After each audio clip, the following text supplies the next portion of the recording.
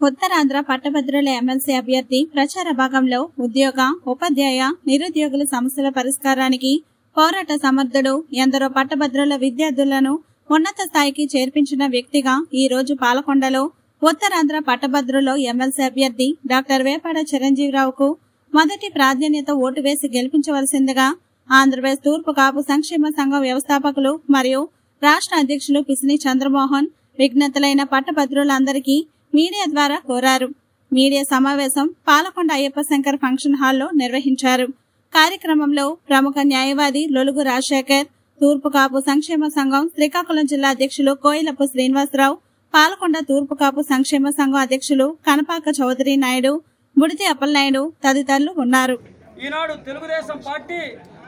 Doctor Vepada చిరంజీవిరావును ఏదైతే doctor Vepada Chiranjeevi గారిని అభ్యర్థిగా నిలిపినటువంటి తెలుగుదేశం పార్టీకి ప్రత్యేకమైనటువంటి ధన్యవాదాలు తెలియజేసుకుంటా ఉన్నాం. ఎందుకంటే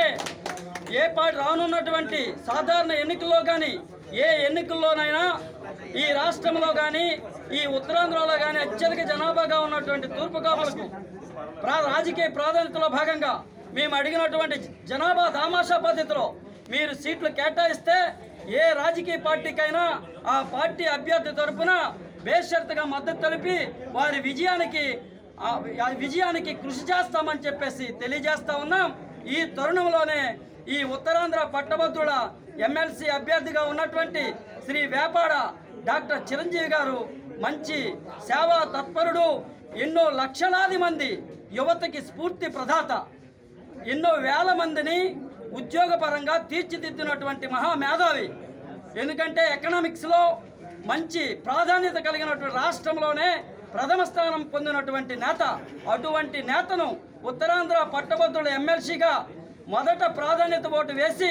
ఆయన్ను మన ఉత్తరాంధ్రలో ఉన్నటువంటి గ్రాడ్యుయేట్స్ కానీ ప్రజల తరపున